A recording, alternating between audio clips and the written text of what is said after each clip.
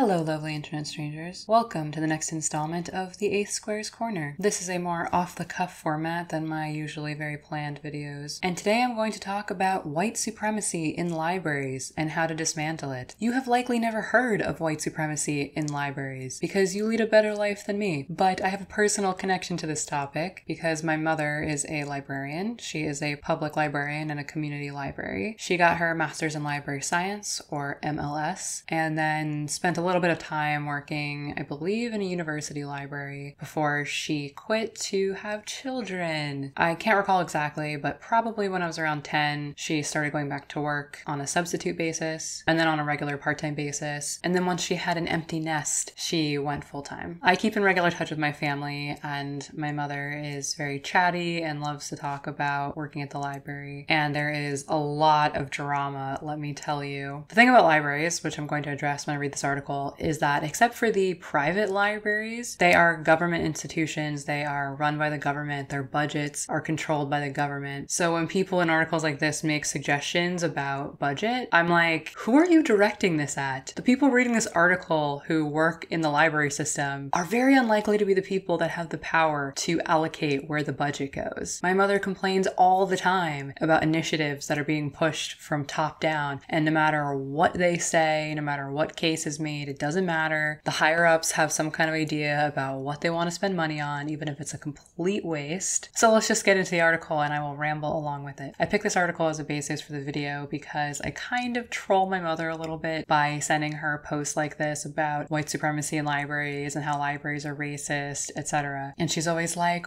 Why do you hurt me?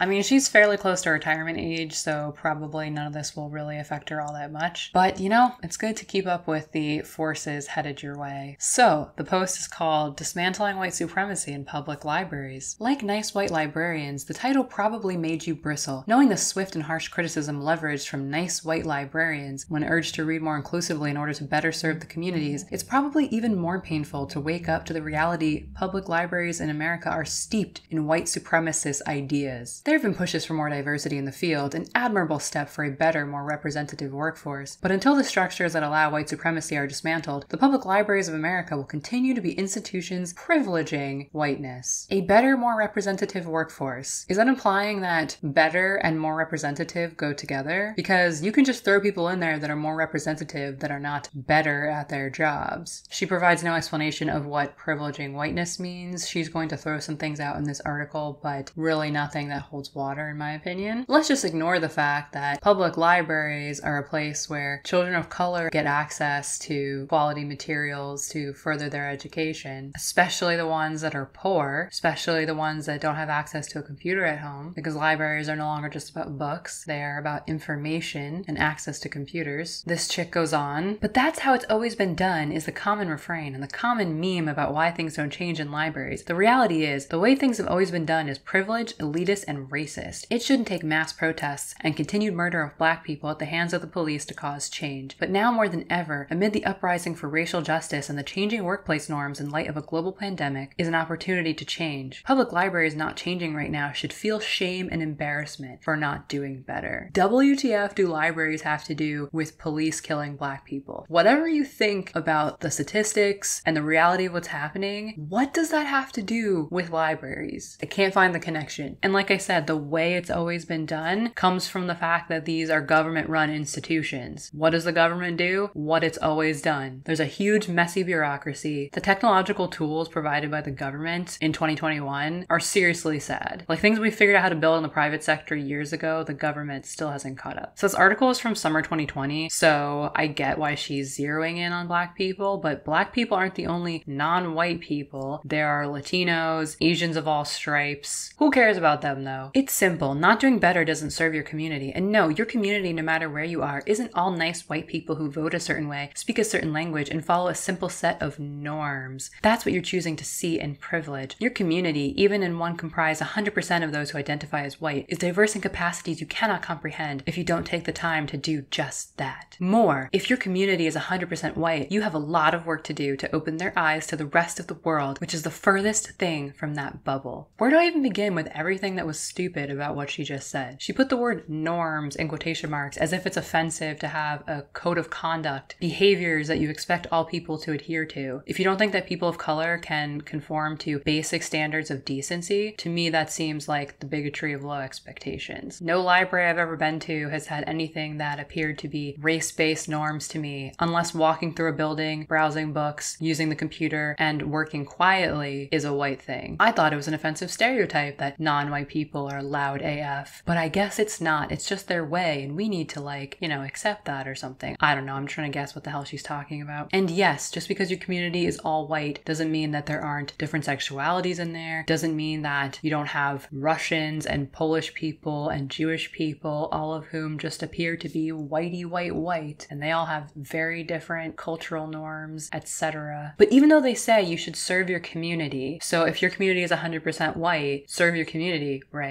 But no, if your community is 100% white, you need to expose them to the rest of the world. Okay, what if you're in a community that's like almost 100% black? Is it your responsibility to expose them to the rest of the world, to the world of white people? I bet they would not make that argument. But if they don't make that argument, then they are a damn hypocrite. All right, so things that they list as being white supremacist in libraries are requiring an ID for service and cards. So it's the same argument that the voters' rights people make that people who aren't white can't figure out how to get an ID or can't afford it. I mean, in the community where my mother lives, if you don't have a driver's license, you're not getting to the library most likely because it's not an area where you can get around without driving. The post author says, Are folks who aren't from your community not entitled to the core tenet of public libraries, access to information? One, she used the wrong word. It's tenant, T E N E T, not tenant, as in someone who rents an apartment. Let's not let this taint her credibility. And yeah, you know what? The library may be free, but it's a government service, which means it is paid for by taxpayer money. And the money is not infinite. If it's a community library, it is serving the needs of its community. It's so crazy to me that the person writing this is a librarian, but everything she writes in this article does not reflect my experience, not only of the library where my mother works, which is the library that I used when I was growing up, the library that I used at my university, the library that I used when I studied abroad in the UK, or accessing libraries here in New York City. Nothing she's saying reflects my experience. If you are living in a place temporarily, if you're just passing through for a weekend and you need library access, there's always a way to get some kind of guest access or temporary access. Then she makes this point about young people not being able to get library cards unless their parent can prove their identity, which requires the parent to have the time to show up with their child and provide appropriate proof of residency. It's not like they have to come in with their child all the time. It's a one time thing. If they don't have like two hours to drive to the library, sign up their kid, drive them home, like ever, they never have that time. WTF is their life. Also, I should make a point on behalf of my mother that the library is not your babysitting service. I mean, you can leave your kid there as long as you, you know, pick them up. You'll get parents who don't give a crap. They will leave their kid at the library all day. They will fail to come pick them up on time. So the librarians can't leave because there's a minor there. And my mother has been on the brink of having to call the cops several times because there's an unaccompanied minor that's just been left there. She talks about library fines and how those are a barrier to access. Um, no, they're actually not a barrier to access. You only get library fines if you don't return your books on time. Most libraries give you a pretty generous checkout window, probably minimum two weeks to three weeks. Generally, you can renew. So if you can't make it into the library in time, you can re up for another week or two. And in current year, you can always access ebooks without ever incurring library fines. But again, the library is not a free service, it is a taxpayer paid service. These resources are for everyone, not just you. It's not a bookstore. You didn't buy the books. Other people want to read those books. Other people deserve to have access to those books the same as you. Everyone is sharing from a common pool of resources. If you're not able to bring the book back in time, fine. They're not going to come to your house and kick down the door, but they're going to ask you to pay some money. And the library fines are usually really low. It takes a while for you to accumulate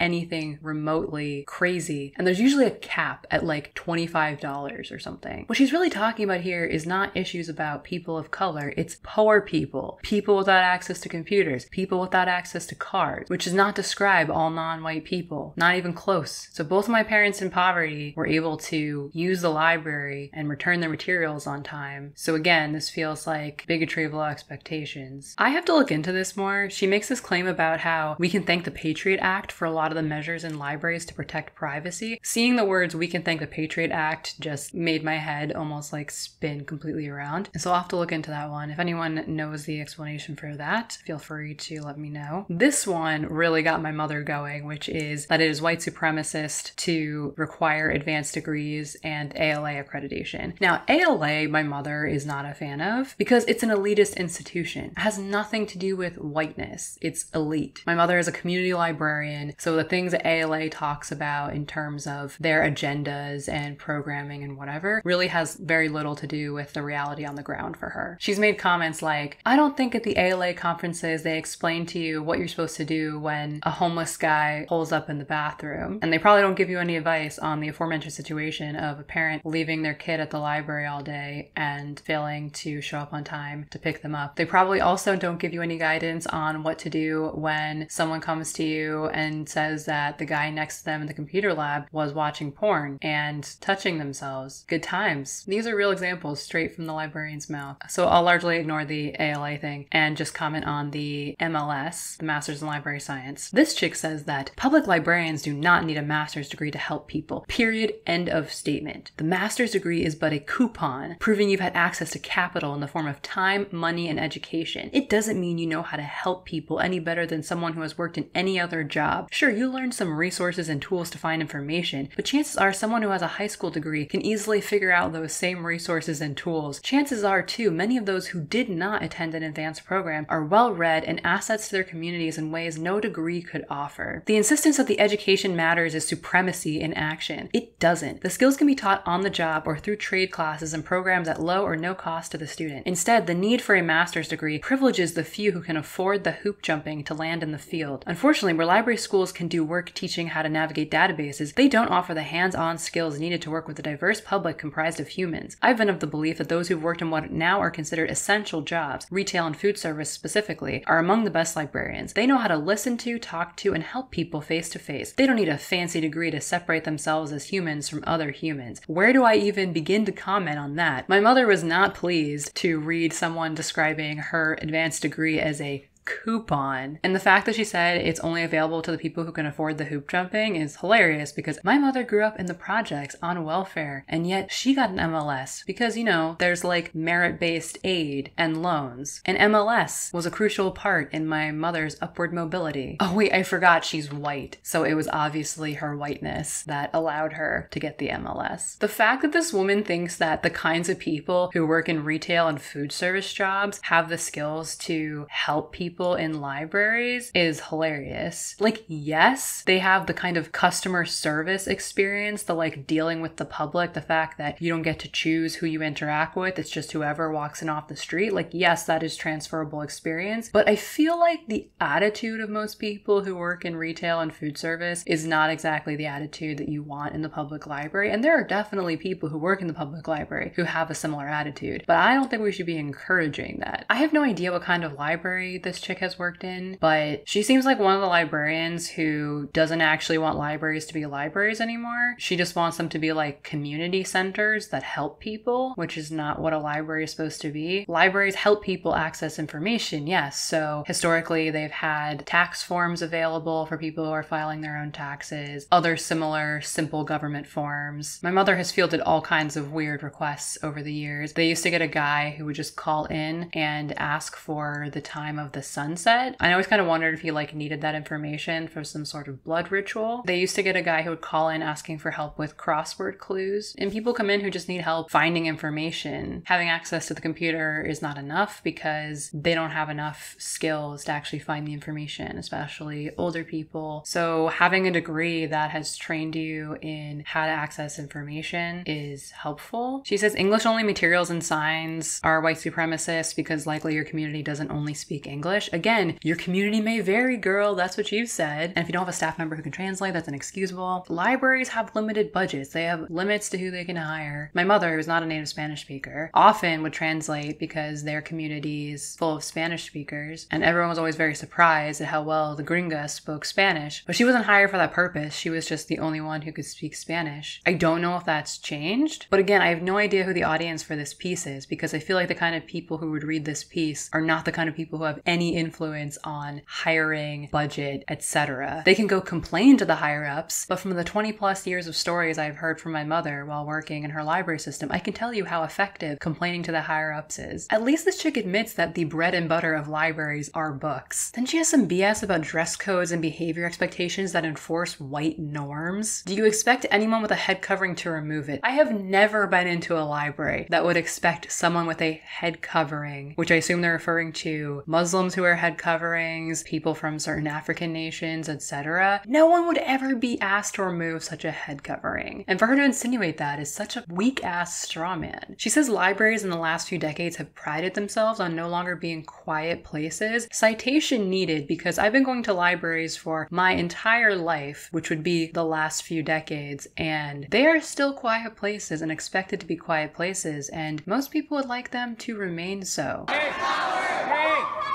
Hey! Hey! This is library.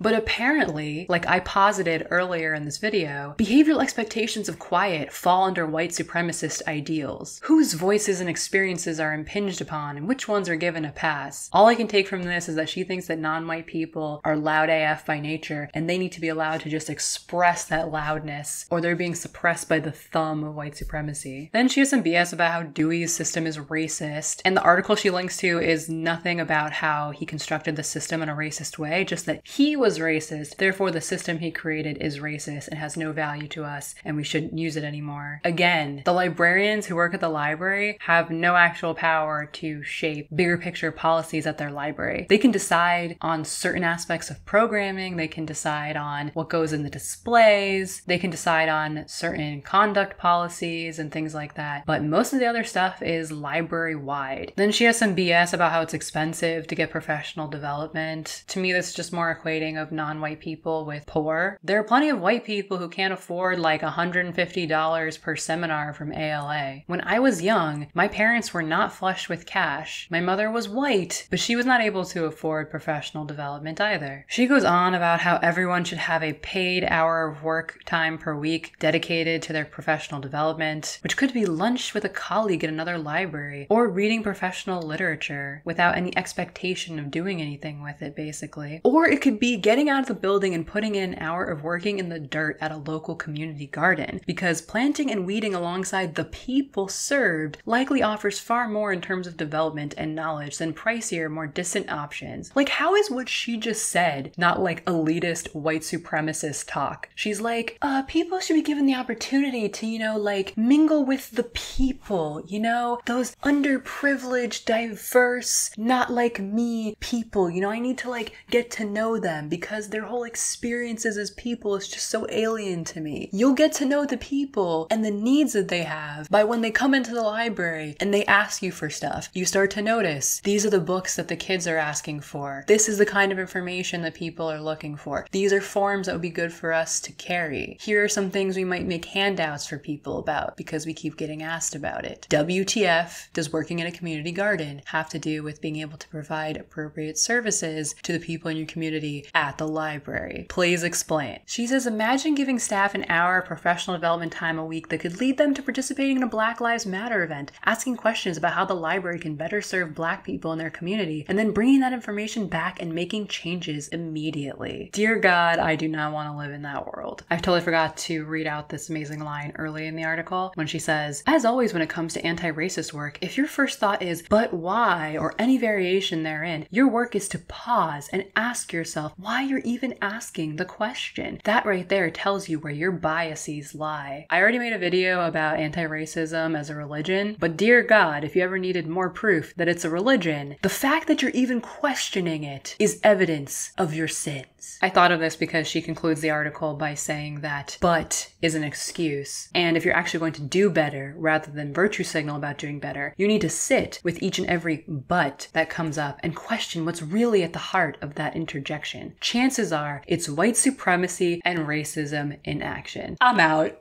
I just, what even What even? So, this is the kind of stuff I send to my mother. And like I said, as you might imagine, she is just so overjoyed to see these links in her inbox. I can make many more videos about the topic of anti racist work and white supremacy in libraries. So, let me know if you want to see more of that content. But that's where I will leave it for now. If you have any comments on this video, suggestions for further topics, comment down below, DM me on Twitter, send me an email, etc., etc. There are many ways to reach me. Thank you very much for watching. If you liked this video, please give it a like. If you'd like to see more, please subscribe, and I will have more content for you very soon.